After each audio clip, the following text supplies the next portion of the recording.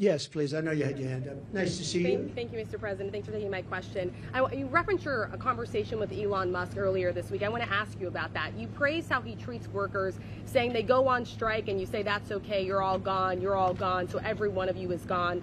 Are you really comfortable with companies threatening to fire workers who go on strike? Well, no, I want companies to get workers that are going to love them and work for a wage that lets the company make a profit so they can go and expand. Uh, in that case, they moved, as you know, they moved the company from California, Elon, uh, from California to Texas because they were able to get things that California wouldn't give. And I, I did ask him one question. Uh, you're moving a very big company out of California that's been there for years into Texas. Did the governor ever call you and say, like, let's work it out because we don't want to lose you? And he said he never called. Governor Newsom, he never called. And you would have thought if I were governor of California and if Elon or anybody else, they have oil companies leaving, I would be calling. But no, uh, Elon wants to run an efficient company, and if he has to get, he got rid of a lot of people on X or former Twitter. They, a lot of people gone, and it still works.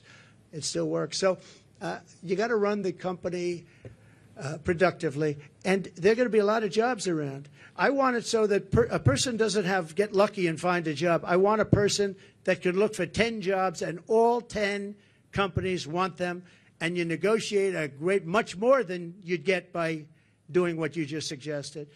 So you know, I, he has a he's a strong man. He's a strong guy. He's a brilliant guy and he wants to get the best he can, and he wants to get the best workers. Uh, he pays a lot of money to a lot of his workers. Uh, it's to a certain extent supply and demand, but ultimately that's what's going to lead to a great country. So. To follow up on that really quickly, because some people took at that as you saying that you would be comfortable with companies threatening to fire workers. Sean O'Brien, who spoke at the Republican National Convention, saying that firing workers who are wanting to organize or striking is economic terrorism. So just to be clear, that's something that you are. Well, not that's not. with? Yeah, they weren't organizing against Elon. He let them go because uh, he was having a lot of problems in California. He was they were making it impossible for him in California, what they were doing with the taxes and everything were making it impossible for him. And Sean O'Brien's a great guy from the Teamsters you're talking. Yeah, Sean is great. Uh, I think Sean would understand it better than anybody. He's don't forget the unions are really threatened by what's coming in, by the, these millions and millions of people coming in. Sean O'Brien understands that.